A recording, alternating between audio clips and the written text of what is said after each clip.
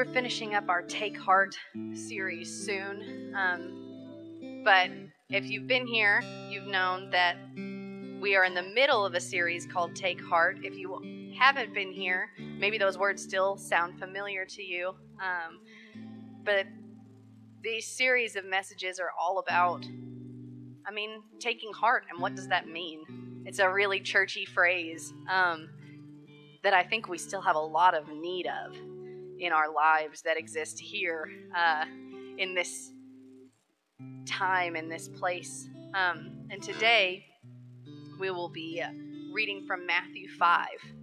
Uh, and it's going to come at you like a shock, this first couple verses, but they are going to be uh, expounded on and, and talked over in this next little half hour here. And I'm really excited for this Sunday. So, from Matthew 5 in the NIV version, um, verses 21 through 26. You have heard that it was said to the people long ago, You shall not murder, and anyone who murders will be subject to judgment. But I tell you that anyone who is angry with a brother or sister will be subject to judgment. Again, anyone who says to a brother or sister, Raca, is answerable to the court. And anyone who says, You fool, will be in danger of the fire of hell. Therefore, if you are offering your gift at the altar and there remember that your brother or sister has something against you, leave your gift there in front of the altar. First, go and be reconciled to them. Then come and offer your gift. Settle matters quickly with your adversary who is taking you to court. Do it while you're still together on the way, or your adversary may hand you over to the judge, and the judge may hand you over to the officer, and you may be thrown in prison. Truly, I tell you, you will not get out until you have paid the last penny.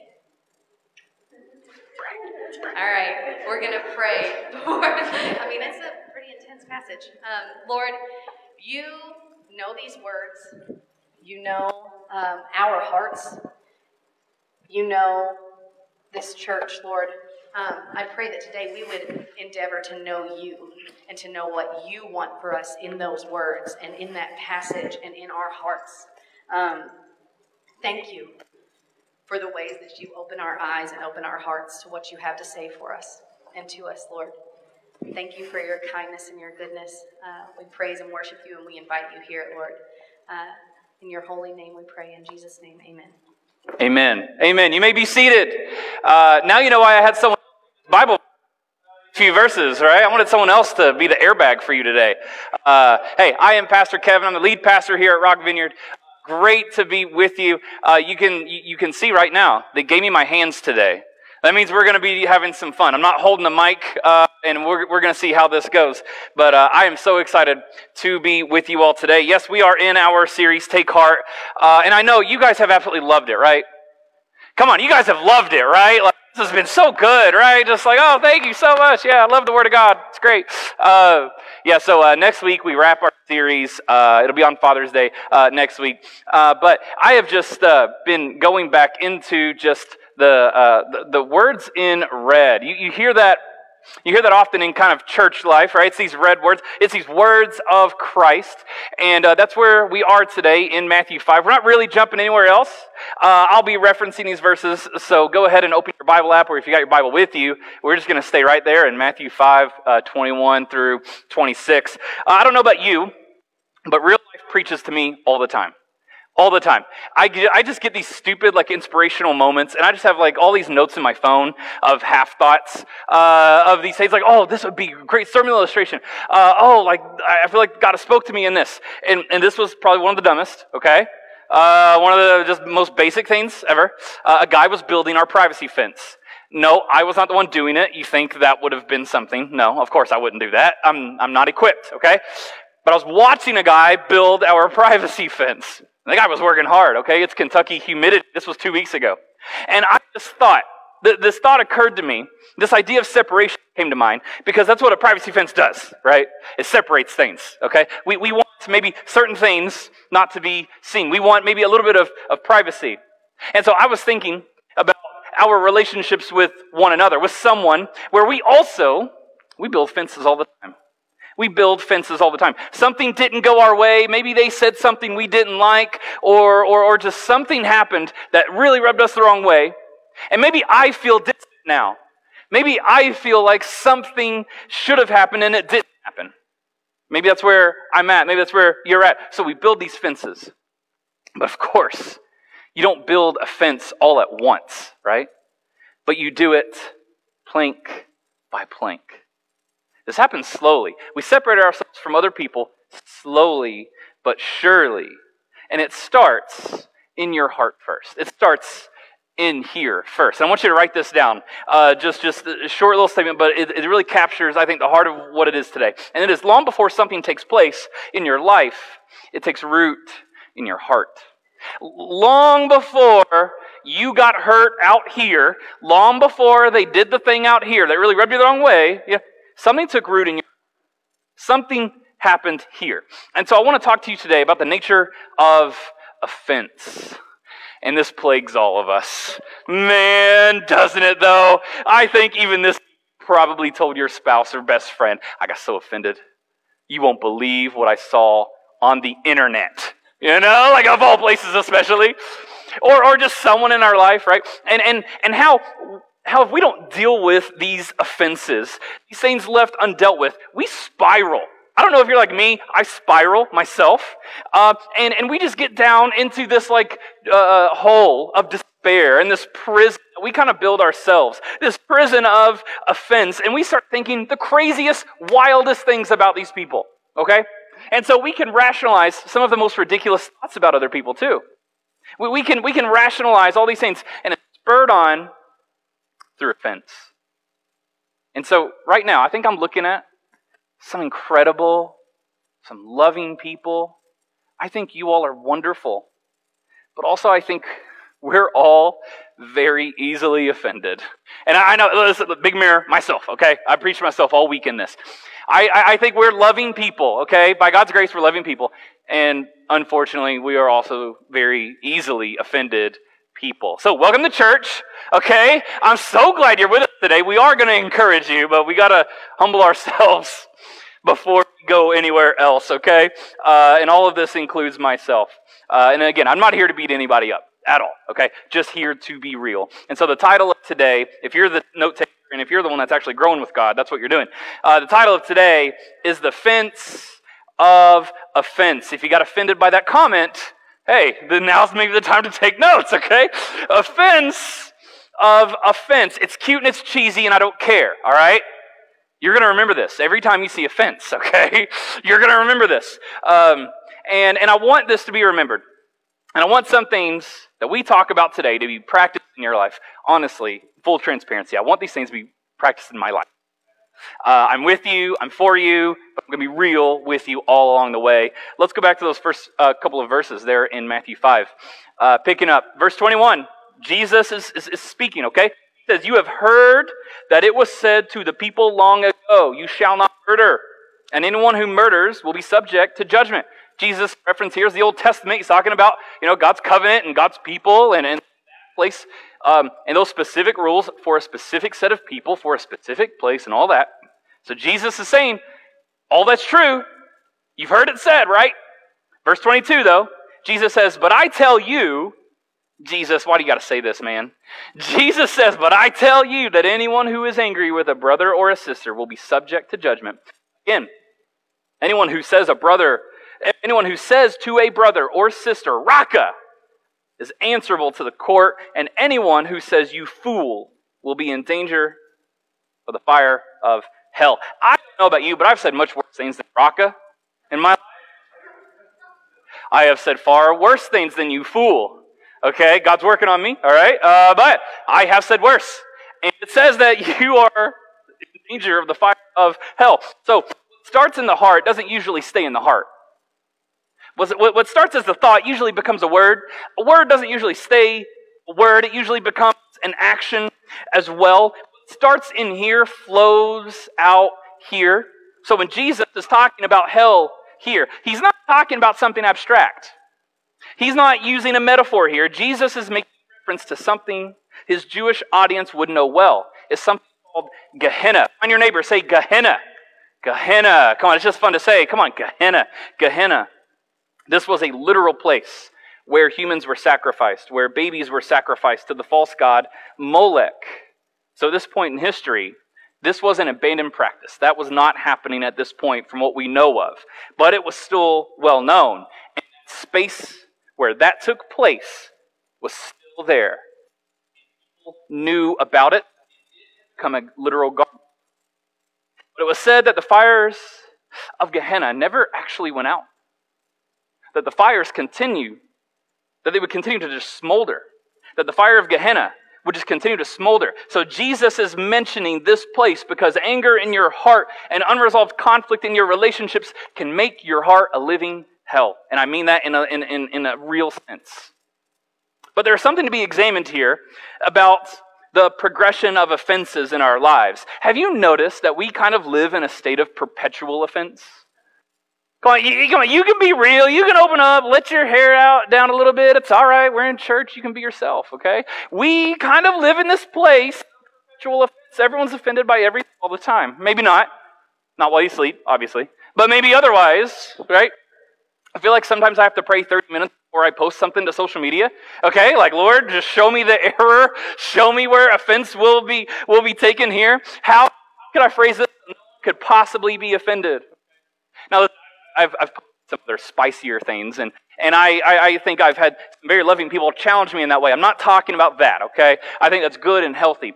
But it's the seemingly small stuff that really seem to, to kind of get at us sometime. Uh, a couple of years ago, I put on Facebook, Facebook, just uh, the happiest place on earth. Facebook, I, I go, posted something to the effect of, um, you know, it would be radical to, to love people the way Jesus loved people. And I had a guy not DM me, he, he commented. He says, he said, he said, How dare you use the past tense? Jesus didn't love me. He loves me. Don't you know he sits at the right hand of the Father? Don't you know he is eternal? Don't you know? Okay. Okay. All right. That's fine, man. It, it is what it is. You, you wanted to be offended before you, I think you dropped into my comments, bro. You know? And, and, listen, we got to laugh at ourselves sometimes. That, it's okay. We, we got to laugh at ourselves sometimes. But listen, we Christians, I don't know if you're a Christian today. Let me talk to the Christians for a sec. Listen, we are some of the most offended people on the planet, which is ironic since our entire faith revolves around someone who dropped every offense committed against him. Okay? Listen, God is working on me too. I'm going to keep saying that. I'm not preaching against you, okay? I'm for you. I'm with you. We're on this journey together, okay? But God is working in me as well. Uh, but I've heard a pastor uh, put it this way. He said, It's hard for you to remain joyful when you're so easily offended. And I think it's true. And, and we can uh, dive into other passages of the Bible when it comes to offense and how to deal with these things. But let's stick where we're going because I want to invite you on a journey with me. Uh, and not be so easily offended, or at least know what to do when offense comes, because it can make your life a living hell. Uh, things just spiral so fast, and we make something so small all of a sudden giant and gigantic. And I think Jesus is right because it doesn't start with action. It doesn't start out here, but I believe it begins in the heart. I begins in your heart. And so add, add to this, though, if that wasn't, wasn't bad enough already, add this, uh, add to this the agenda of our very real enemy. Okay, uh, there is a very real Satan, uh, and his his uh, his agenda is destruction uh, for uh, those taking notes. That's from John 10 10. Uh, and so, uh, while every good and perfect gift comes from above, the enemy's agenda is certainly destruction. If the agenda is destruction, then I think the strategy is division. Because Jesus shares in Matthew 12 25 that a house divided against itself cannot stand. It cannot stand. And so, you know, you, you live in Kentucky long enough and, and you see all the like the little license plates where it's like a house divided, Louisville, and in Kentucky, you know, and, and you kind of see those everywhere. And that's, uh, but, but it's true. A house divided against a stand. And I think it's true of, of many relationships. But I don't think it speaks as loudly or as boldly as it does in marriage. And so I, uh, I, have asked a, a couple of friends of mine to, to help me for a moment uh, some, uh, some newlywed friends of mine. I'm going to invite uh, Junior Vanessa up here. Come on, come on, Junior Vanessa. You all give them a round of applause really quick. Come on. Keep clapping. They're slow. Keep clapping. Come on. Come on. Hey, right, right up here, right up here, right up here. Yeah, yeah, yeah. So good. So good to be with you guys. Uh, so good to see you. Yeah, uh, Vanessa as well. Uh, so, uh, my wife and I did uh, Junior Vanessa's premarital counseling, and we had a great time. That was awesome. And uh, they are newlyweds. Vanessa, how long have you been married? A week and a half. They're 10 days in, okay? So we're going to pray for them. Uh, later, okay? This isn't the purpose. Uh, but it, it is interesting. It is interesting that the enemy has an agenda, and it is destruction. And that strategy comes through division. Um, and so, what God, here, act like you like each other. You, you can put your arm around her. It's okay. Uh, so, what God has joined together, the enemy wants to separate, right? What God has brought together, the enemy wants to divide, right? Y'all are wondering why I'm standing on what I'm standing on. It's, it's for later, okay? Uh, it's fine. Uh, but what God has brought together, what was two become one, right? But the enemy wants to make the one the two, right? And so, in, in, any, in any really uh, good relationship, but especially talking about marriage here for a second, uh, you want to develop those healthy habits that draw you back together time and time again. You all stand here for just a second. Just look pretty, okay? Just look pretty for a moment. All right? And, and you know, it's, it's interesting. The Bible says that, that uh, uh, marriage is also the perfect picture of Christ and the church, Christ and his love for the church. But it's those small issues, right? That kind of begin. You just kind of wiggle in here. You know what I mean? It's just the small stuff that, that kind of like divide and move us and separate us. But, but that's why we fight for marriage. We fight for the church, right? We, we fight for unity, and, and that can be really, really difficult, right? Because we're not, al- we're not always going to agree on every single thing. Can you believe that? Even our leadership team, we don't agree on every single thing. Had a leadership meeting. I think 50% was disagreement, and 50% was we found resolution because that's what you do, right? And in a healthy way, you can do that. Um, and, and church is no different. It's always the small issues, it's the small stuff. Pastor didn't say hi to me on the way in. I knew he didn't like me. right? Oh, our child care worker didn't give out, uh, I don't know, graham crackers today. They were supposed to give out graham crackers today. What's their problem? What's going on in their life? You know, it's always small stuff. They didn't shake my hand. They just said, What's up? and kept walking. You know, like, like what's going on with this? Listen, we have all these things working against us already as it is. We have also on top of that an enemy whose agenda is destruction, whose strategy is division, and the tactic, there are many tactics, but I think what we're going to talk about today, the tactic is offense. And so if these two can just get a little offended at each other, right? Just some unresolved conflict, not a big deal. Just, just something that gets in between them that, that, they, that they're not really going to talk about. Why does he never do laundry?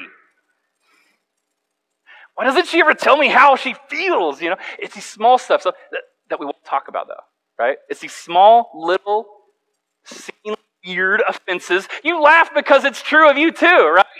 And so it's, it's just really weird um, because the devil won't necessarily announce these sorts of things, but it's, it usually comes subtly.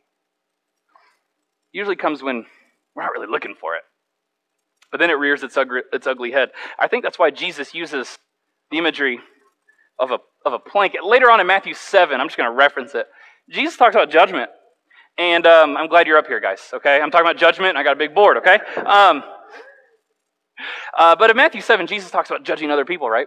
And he says, you know, don't, don't be judging people for the specks in their eyes when you are walking around like this right here, okay? And so, and so uh, let's, let's get a little space between you two. And, and so, so, Junior, when, when there is offense in marriage, because it's going to come, it's not a matter of at Vanessa and saying, Vanessa, what is wrong with you? Why can't you do anything right? What, why don't you communicate with me? What's this? What's that? But it's about reflecting on the big, goofy, stupid looking plank in your own eye, right? And then it's like, well, all he does is spend time with his boys. I know Saturdays are for the boys, but Sundays are for family, and I'm sick and tired of what he does all the time. It's it's not about pointing out the specks in each other, but the plank in our own. I'm gonna, I'm gonna need you all to help me build something in just a bit. You guys go ahead and grab a seat. I'll bring you back up in just a minute. Uh, but okay, give him a round of applause. I got him up here for a minute. You guys aren't done preaching, just so you know, okay? But it is. This is it's this giant plank that we walk around with, and we judge other people like this, you know? Um, for our uh, volunteers who serve in Rock Kids, we do a, a, pre-service for them. I get to preach to them because they're not in here with us uh, for, for church. So I get to preach to them. And uh, this morning we talked about the importance of how this is true of all people. Not just people that you know personally, but how many times, oh, so-and-so politician. You look at the specks in their eyes. Look at them. Hey, last I checked, they got a soul. Last I checked, that's someone loved by God. But do, do, you know what he said? Do you know what he did and this and that? And she's going to do this and she's going to do. Come on, let's take a chill pill, okay? We still say that. Eh, eh, let's just let's just chill. Can we chill for a sec all these, all these like judgments? Because the judgments come from a place of offense. Is really what it is. We just get so offended and so tightly wound and all built up. But listen, the closer their relationship, the greater the opportunity. Man, I wish I still had them up here. But the closer their relationship, the greater the opportunity. And especially in something like marriage, something as intimate as marriage. So the closer the relationship, the greater the opportunity for offense, yes, because no one hurts you like someone you love. But also the greater the opportunity for love, because no one breathes life into you like someone that you love, right? The, the closer the relationship, the greater the opportunity. And so I've seen this happen with friends in my life. Um, you know, they allow these little things to add up, and eventually they get to a place where there's no love, there's constant, and then they ask themselves, you know, how did we get here? And so it's important to remember that it takes one person to forgive, but it takes two people to reconcile.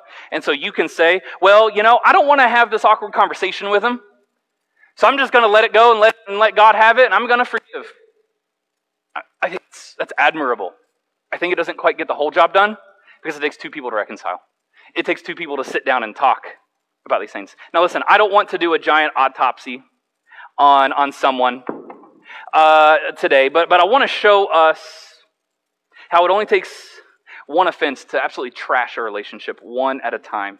Yeah, there are giant things like betrayals, infidelity, adultery, uh, all of that, but I'm not really talking about those big things, much as what Jesus is talking about, these small offenses that take root in our hearts these smaller things. If you get something in your heart against your brother or sister and you nurse it and you rehearse it long enough, it will create a garbage dump of a, of a relationship that's a garden of potential and love. And so I wanted our newlyweds up here because it's like, it's, it's, it's here that it is just so pivotal to get these healthy habits in early. Because some of us, listen, we come to church with these offenses. Crazy, right? But we do. Let's continue what Jesus is saying. Verse 23. Uh, Jesus says, Therefore, if you are offering your gift at the altar and there remember that your brother or sister has something against you, leave your gift there in front of the altar. First go and be reconciled to them. Notice says reconciled, don't forgive, right? First go and be reconciled, then come and offer your gift. But too many of us, we have all these offenses that are just really left unsettled, and it is eating us up on the inside. But on the outside, Praise God, brother. It's Sunday. It's the Lord's day. We're in the Lord's house. Praise God. Praise God, Pastor. It's, it's such a day. We drive home. We, we lose the facade. We lose the mask, right? And, and almost real life hits again. It, or it's like today. We'll worship, right? We'll even raise a hand. Woo! I may, I may say amen, right? About the goodness of God. I'm, I'm going to sing about the goodness of God and the awfulness of my husband who made me late because he used the bathroom twice. He's a jerk, but I'm sing of the goodness of God. What? This shouldn't be different, but it is, right? We shouldn't live a different life inside these walls just because we're here, okay? Let's, let's try to be a little consistent. And so the enemy, let's talk about him again. The enemy works hard to divide and destroy our unity because when it pertains to God and especially marriage, the two become one. But again, the devil wants to divide, so the one become two again. And it all starts with offense. Just little offenses. And God knows I need this message too, okay? When I consider our marriage, it is something my wife and I, we work very, very hard on. That does not mean we don't argue. That doesn't mean that we don't go back and forth. We just try to do it in a respectful, honoring, healthy way But we, listen, we are really good debaters, okay? We've gotten really good. Um, and I would say in our marriage, I think I'm, I'm responsible for maybe 10% of her happiness. She's, she's really taken it upon herself. She's literally the 90%. Uh, I, no one loves the Lord quite like my wife does. Uh, no one loves uh, uh me as much as, as uh, she and, and, she's so respectful and honorable and, and all these things. She's, she's the best mama in the whole world. She works hard. She's, she's all those things. She is 90% of the happiness of marriage. I'm at 10, and I'm proud of my 10, okay? If the Lord continues to work, I could be at 11 next year, okay? You, you don't know, okay? I work hard. I'm proud of my 10. But if I get put in the wrong situation, I, offended easily. If, I don't know, if I'm feeling insecure, I, I don't know what it is. I just, it's like the, I don't, just something overtakes me. And I just, uh, it, given opportunity, I'd snap just like Thanos sometimes. Like, like I'd just get so offended so quickly, so, so easily. And, and I think you're like, I, I literally brought a Facebook comment to you from years ago. Why? Why would I do that? Something, right? Plenty of people have said so many nice things to me since then. I think different posts have gotten my likes and hearts into the thousands at this point. But what do I remember? What am I thinking of as I stand on the stage with you? That's just silly, right? Uh, I, am just, I'm capable of, of getting offended so quickly, and I think you are too. We find the offense. Maybe we find that little bit of raca Jesus is talking about here. We find a little bit of raca and we just blow it up in our minds. And so look how bad it can get. Verse 25, it says, uh, Jesus continues. He says, Settle matters quickly with your adversary. Uh, earlier, earlier it said your brother or sister. And now it's talking about your adversary. And I think it's really telling how our whole life we can have a brother or a sister.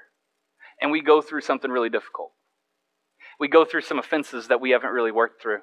We go through something and it spirals. And now Jesus refers to an adversary. I don't think it's by accident. I, I, think a lot of us have some familial difficulties to some degree. And some of us know this to be true. Maybe a literal brother or sister, mom, dad. Maybe a figurative brother, figurative sister, friend, whatever.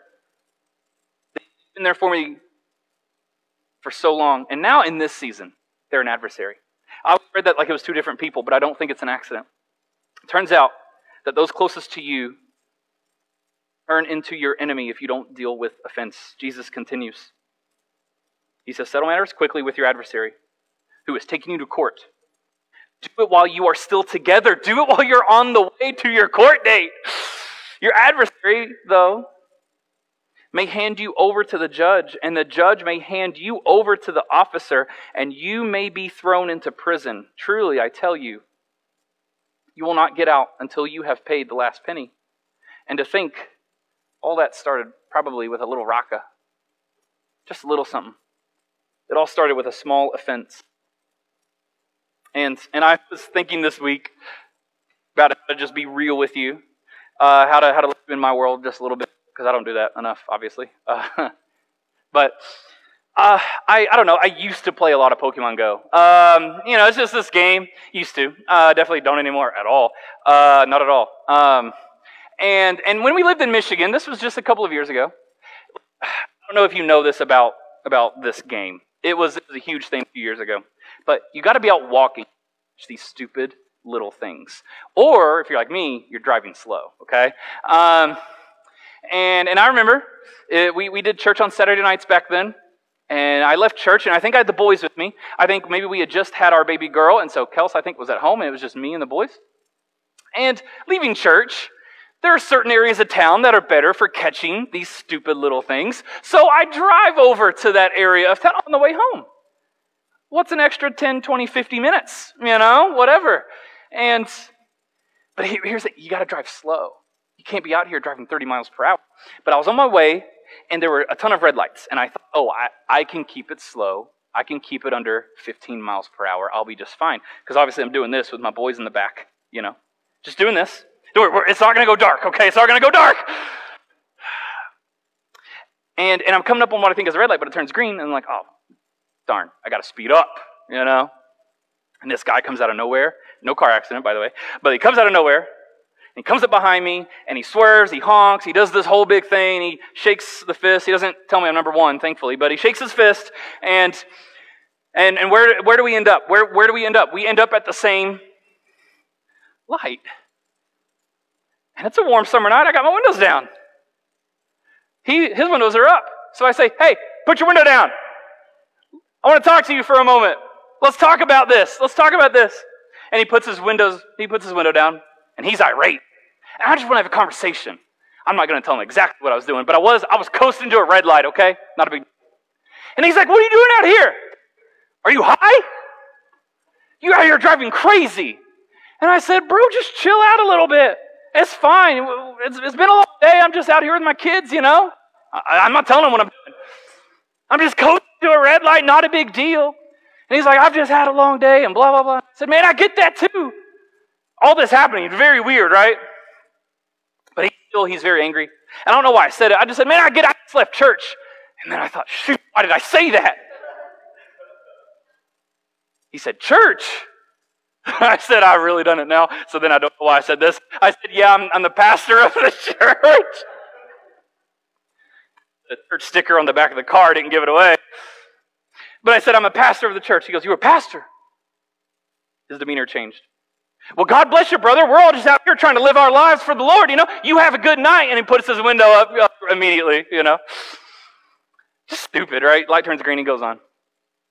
And, and I'm like, I think I'm done with Pokemon Go for tonight.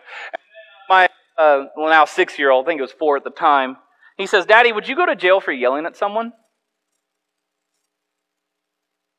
I said, No. Don't be ridiculous. But you know, I just thinking like, oh, that was the weekend I was preaching and I was talking about testimonies, how important it is, and all this stuff. And, and here I am kind of preaching with my life to my kid. You can be one thing on stage and another when you're driving. Curse the guy. I didn't raca this guy. Wanted to. But it's just interesting how something so small just blows up so quick. Have you ever done that? It was a small thing, right? 40 seconds later, you're like, what just happened? How did this thing just blow up in, my face? It started with a little raca, but it blew up. And here's the point of that story. Because when we are in situations like that, and it's the beginning of something seemingly small, we're not thinking of how it could end up. We're not thinking of how this could end up in a court date. We're not thinking about how we're going to sit with an attorney and go through these things. No one's thinking about that. No one is thinking about divorce the day they get married. You're not thinking about that. Those are not things you're thinking about when you first meet some friends and you're like, man, they're really going to hurt me six months. It's going to be great. You're not thinking of that.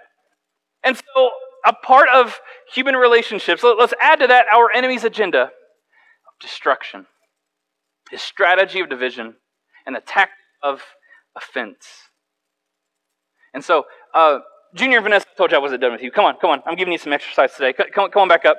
Uh, I'm going to move this out of the way. You all come up behind this rock here. Come on up here. Um, see, here's the thing. You don't have to be to grasp the significance of this, okay? Um, and I don't, uh, uh different pastors have, have different fences on stage before, and so I don't want to act like this is my idea. Powerful illustration for us, and it's something that we need to take hold of. We need to take heart. Um, because what are you going to do, Vanessa? Vanessa, you represent everyone in this church today, okay? Here you go. You're welcome. Junior, you also represent people in this church.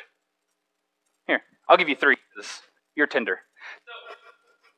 So, what are we going to do when offenses come? Uh, not a matter of if, but what are we going to do when these offenses come to us? How are we going to respond? Because listen, so many offenses, they come by things that we say. We think about it.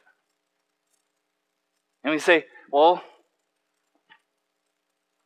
I wasn't I wasn't a part of that group. That really hurt my feelings. What's going on? I don't like how they talk to me. What was with that tone? I don't know. I'm sure it was nothing. I don't really want to talk to him about it. I, I, I don't. I don't. I don't know. I'm just nervous in conflict. I don't want to talk about it. So I'm just to dig this nice and deep. And you know, I can still have a relationship with, with you just fine. I can still see you fine. Not a big deal. I just see it most of the time. But it's okay. I, I can still have a relationship with you, and we're okay. It's, it's, it's, not a, it's not a big deal. But we need to have tough conversations. We, we, we need to, as Jesus calls, make peace and not try to keep it. Uh, I, I, think of one of the first times I, I, I wouldn't say I had a disagreement, but just had a little conflict, just a little thing. I'll get in a minute. Say pretty. But our treasurer, Nick, after uh, one of our leadership meetings, uh, I don't know what I said exactly in the meeting, um, but it didn't sit right with him. Did Nick take off running and start a group text about how awful I was? Did he vent to five people when really we all know that's just gossip? No. Did, did he go to his wife? I don't know. I feel like it's a safe place. Did he go to his wife and complain about how awful Pastor Kevin is? He's awful. He's all these things. Not the... No, an hour later, he gave me a call. An hour later, he called me. Said, I think we got some wires crossed. Can we talk about this? Did I spiral? No. Did I begin thinking, got to remove him as treasurer? He's going to try to take the church. He's going to do all these things from me. Like, no. I knew who he was, and he loves me. He has my back. And he's going to tell me hard things because that's what friends do. Proverbs 27, it says, But faithful are the wounds from a friend. It's good for you to be wounded by a friend when done in love, but they approach you and say, We are not on the same page. There is something there. There is an offense that could potentially be placed, and we need to deal with this right now. And I think too often we say these little things when someone says something that causes us offense. Instead of, instead of digging in to love, instead of digging into grace, instead of digging into humility, we dig a hole. We begin constructing offense. We begin to build something. And so, for our lovely couple up here, Junior, I'm going to steal one of yours. Um, sometimes it's unmet expectations, right? Because maybe in Vanessa's house, birthdays were a big, big deal. And maybe mom and dad always like made you pancakes in the morning and, hey, happy birthday, Vanessa. We love you, streamers, the whole thing. Um, Junior doesn't know that. There's some unmet expectation. So on your birthday, Junior gets up and he's excited for dinner tonight. And that's what he's thinking. I can't wait to give her this jewelry. I can't wait. All Vanessa knows is that Junior woke up at 5 a.m. because he works really hard, and he didn't kiss me goodbye. He didn't even tell me happy birthday. He didn't make me any pancakes. And I'm just a little upset about it.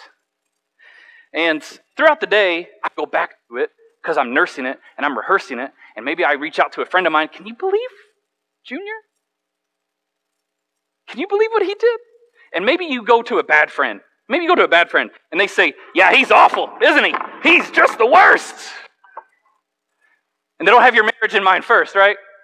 That's what happens with unmet expectations. Um, hey, I'm going to let you grab these other ones over here. Um, so I'm doing a, heavy, a, lot of heavy lifting. I, um, you know, but maybe, maybe uh, for for Vanessa though, Junior's the life of the party and and he's just an electric personality. He loves just being around people. He shows up to the party, the party begins. And Vanessa, listen, what you marry someone for and you love about them initially can drive you crazy, right? Uh, an old country pastor said, uh, uh, opposites attract, but in marriage, opposites attack. And so, um, stupid. Y'all are going to remember it.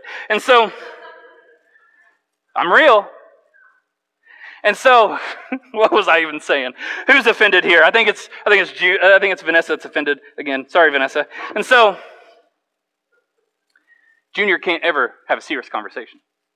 He's always got to make a joke. He's always got to go the extra mile. My love language is not gifts. My love language is time. And you got no time for me, Junior. And so we just continue to construct something ridiculous. I'm going to take one, one more from you. But let's see. Now, let's go to Junior for a sec. Uh, hey, actually, uh, give both of those to Vanessa. Junior, step down in the front. Gosh, y'all are, doing great. Uh, I'm going to invite you up here more often. So, but it's just more unmet expectations, right? Because you know, because you know, in my house, laundry was shared. It was a shared responsibility. Mom and dad both did laundry. But, you know, maybe in Vanessa's house, it just all fell to one person. And Junior is caught doing all the dishes, he's caught doing all the laundry for some reason. When Vanessa is in his house, the, the, wife always did all this stuff. But it was always shared for her, and so she doesn't really think much about it. And so Junior's always just so kind and great, and he's always jumping on these dishes. And I love it. But for Junior, why doesn't she ever help? But he's not talking about it. And these offenses, one by one, by one, by one, they just they just continue, okay? And so these these offenses they just continue to add up. And it again, it can be seemingly small. So thank you so much. You're you're great back here. I'm glad no one can see you. Um, because maybe again, it's it's more small things. I wish she could drive. I wish she'd listen to me. I wish she would turn the GPS on. I wish she would just do things differently. You know, ah, Junior, though, Junior never takes our dogs for a walk. Vanessa thinks it's always me. It's always me cleaning up the poop in the yard. It's always me taking the dogs for a walk. I work. I work at a hospital. I'm saving people's lives. What's he doing? Answering phones. He has no idea the stress I'm under. And then I go to my group of friends who just reinforce toxic, you know, thoughts. Yeah, what does Junior do? Nothing. You work hard, Vanessa. Good for you. And then it just continues, continue to spiral. You know, I wish, I wish he wasn't on his phone all the time. Don't you, Vanessa? Don't you wish Junior wasn't on his phone all the time? But you know, I just, I feel like I'm always harping on him. I feel like I can't tell him that all the time. So I just passively, aggressively will send him a text every now and then because I know he'll see it because he's always on his phone. Or I'll say, hey, why don't we watch something tonight? But I'll just never actually about the issue. I'll never actually bring it up. And then, of course, what do we do? All of this just continues to spiral because we're not having a conversation, because we're refusing to talk about the offenses that we're feeling, because then, no matter what, eventually, we got to talk about finances. And, and maybe you're both savers. God bless you if you are. God be with you if you're both spenders, like me and Kelsey. Maybe I should have asked for permission before I said that. Uh, so, before we know it, we've got offense after offense after offense. And Junior, this don't look too good. And then we're we're wondering, where'd the love go? Where'd the friendship go? I feel like I don't even I don't even know who you are anymore. And Vanessa's just like, you haven't taken me to Chick-fil-A in three months. What happened to our date? Pastor said? Remember we need a date night? Remember? Remember these things? And so we, we just build these, these fences in our marriages, in our relationship to our friends, to people that we care about. It doesn't have to be marriage, but we just build these, these things and we think we're fine. We're fine. We're okay. Because on social media, it looks like we're killing it. But we couldn't be further apart, right? That's why it's so important that in a, especially in a new marriage, in any marriage, but especially in a new marriage, that you two, as we talked a lot about in premarital counseling, that you have to uproot these things and you have to have these discussions. You have to begin to do this. Vanessa, come, come forward. Stay next to you, your husband here. It is so important to take these things, to not let these really get down into our hearts too much, to not let these flow into our lives all that much, but instead to uproot them, to have a hard conversation. This is, this is for you. To have a hard conversation about why you don't take me on dates anymore. Why you don't write me letters anymore? Why this? Why that? Why don't you do this for me? What happened here? What's going on here? It's important to have this conversation because, Vanessa, you know what we're going to do? After we have this conversation, because forgiveness takes one person, reconciliation takes two people. And so when we get offended, reconcile. Need to reconcile. We need to have a hard conversation, a weird conversation, an awkward conversation. Because our souls need it. Be reconciled. I can forgive anybody feel like. Means that we have dealt with it, we've dealt with the offense, and that we can drop it. If you weren't awake already, we can drop it though. Because, Vanessa, hold, hold it out right there. Because we have the greatest example in the world, in the world of someone. Junior, of that that dropped every offense of, of someone that, that could have pointed the finger and said, Why don't you do this? Of someone that, that could have said, Give us, given us the list of every wrong we've ever done. We, we, we follow someone in our faith whose name is Jesus, who could have accused us, who could have said, You are not good enough, you are this, you are that, you are far from me, you are cast from me. But he didn't because instead he dropped every offense that he could have levied against us. We have this example in Christ. And I want to encourage you today that you example, the one that could hold did no to drop it. That every single thing against you in your life, he calls us to drop it. To, to, to drop these things. And so I don't know about you, but go ahead, Junior. Uh, I don't know about you, Vanessa. Go ahead. I mean, we're doing work. We're doing work. Uh, in the midst of this, I want to invite our worship team up. Come on, guys. Come on. Um, come on. Go ahead. Take it. Take it. Take it. Uh, we're going to drop. We're going to continue to drop because it is so important for your heart to take down these stupid fences. It is so important for your relationships, for your friendships, for your just to take these things out and to drop them once for all and be at peace. Thank you all so much. You can go be seated. Thank you so much. Uh, we, we, we can't keep building these fences against other people and think that we're okay, we got it together, it's, it's fine. We, we, we can live this thing out. No, if you are offended, you will build fences.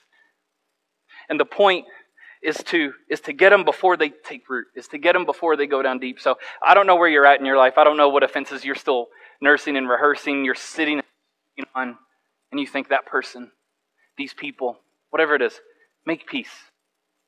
I told our lead team when we planted this church, I'm going to hurt you. No, probably not on purpose. Who knows? I'm going to offend you. And you're going to hurt me. And you're going to offend me. These things are going to happen. But we got this pesky value called peacemaking where we are going to choose to not leave meetings angry, where we're going to choose to not leave interactions upset and offended, where, where we're not going to leave things unsaid. And maybe, maybe for you it takes an hour, like Nick gives me a call. But I've been, I have been a beneficiary of people who have come to make peace with me six months after the fact, and it needed to happen. Where in your life, who in your life are you, are, are, are you building these offenses against? Who in your life do you need to go and be reconciled? Really, Pastor? I don't want to get into this whole thing again with them. Yes, go and be reconciled. Oh, but we've been to counseling for this already, and I don't want to get back into this. Like, again, we have to do this again. Yes, go and be reconciled. As it says in Proverbs, a heart at peace is life to the body. I think we need some peace. I think we need. Oh, please stand. I want to close this in prayer as our team leads us in a, in a, a time of, of reflection and worship and ministry. But I think we need some peace today.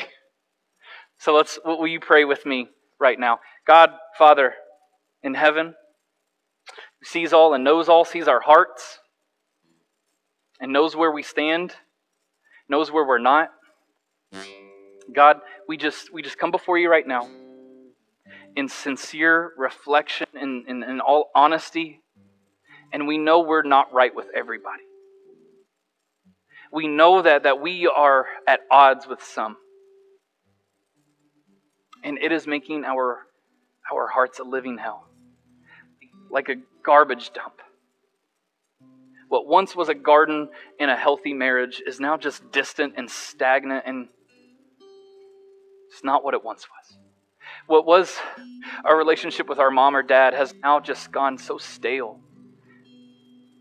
because of, because of different beliefs, because of last year's elections, because of a, of a pandemic, because of things that seemed so big at the time,